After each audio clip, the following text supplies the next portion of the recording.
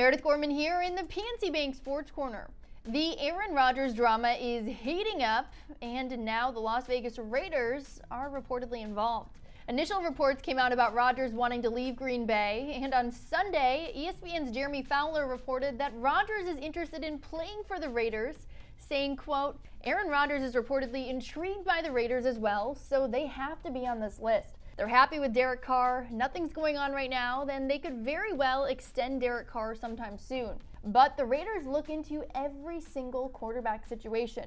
Of course, the Packers have remained adamant that they won't be trading Rodgers, but I wouldn't be surprised to see Jon Gruden try and make a run at him. PNC Bank helping to make banking easier.